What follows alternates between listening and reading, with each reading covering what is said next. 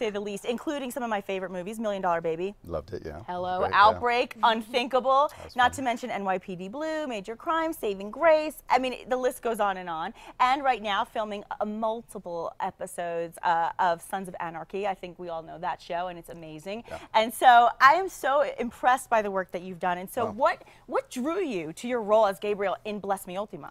Uh, everything. Really? Uh, the, the, the book, of course, when I grew up um, here in Albuquerque, Rudolfo Anaya was uh, friendly with the theater company. My mom was part of La Compañía de Teatro de Albuquerque. Oh, wow. Well, we changed the name to La Compañía. Jose Rodriguez was the artistic director. He met Rudy, and Rudy was telling me uh, Jose inspired him to write plays. And I met him as a child. So when he visited the set, I told him the story. He was like, Yeah, I remember your mom. I Full remember Jose. Yeah. Uh, and I was about, you know, this size when I met him. So I was like, this is very cool. That's Uh, amazing. so I knew the book. I, uh, I met with the director. Carl's amazing. yeah. Um, read the script. It was so true to the book. Ah. And then we're filming in New Mexico. I'm like, all right, where do I sign? It's a win-win. Let's go. Oh, and we're so glad that you did. It's a great role. It's just so fun to do. It is, and you know, and I've talked to Luke for a moment because you already have five big projects under your belt, and in Bless Me Ultima, you do play the protagonist, which is of course Antonio. So tell us a little bit about your character. Well, Antonio, he has strong belief in God, and he um, he has a lot of questions about life. He wants to go. He wants to do good in school, and I feel that he was.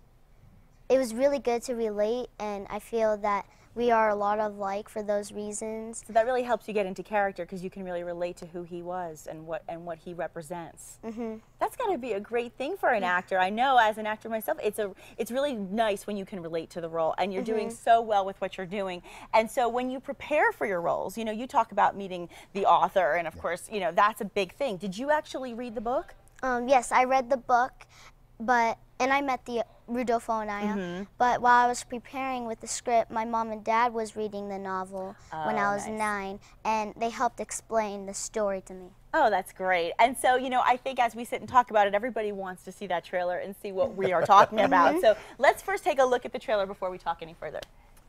the heart of the land that is our land. From the heart of the culture that is our culture. Is Ultima really a witch? Mind your manners. I knew there would be something between us. comes the controversial book that was banned, forbidden, and burned. It is alive, like all things the trees, the rocks, the river. Can it speak? Yes. Lucas, he's he's very bad. He got sick, lies in bed, dying. They stole his soul. We must get it back. I will go, but you must understand that when one tampers with the fate of a man, a chain of events is set in motion that no one can control.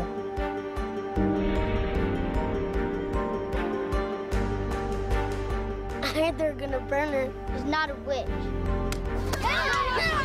Oh There is no witch here. Who is it accuses I accuse you of being a witch.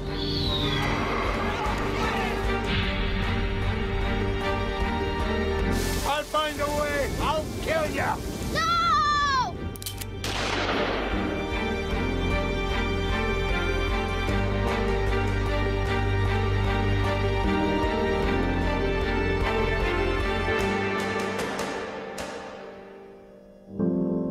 Bless me, Ultima. I get the chills every time I see that trailer, guys. I really do. What That an is so intense role.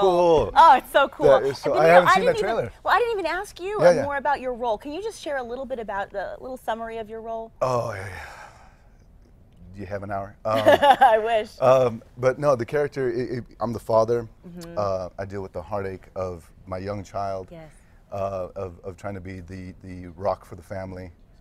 Um, my older sons go away to war, Mm-hmm. and then they come back, and we deal with the, how they've changed.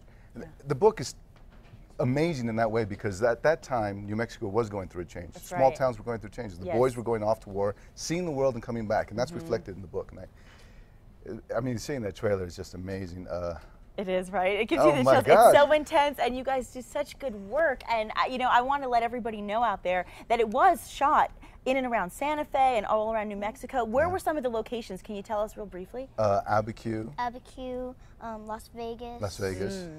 We stayed in Española.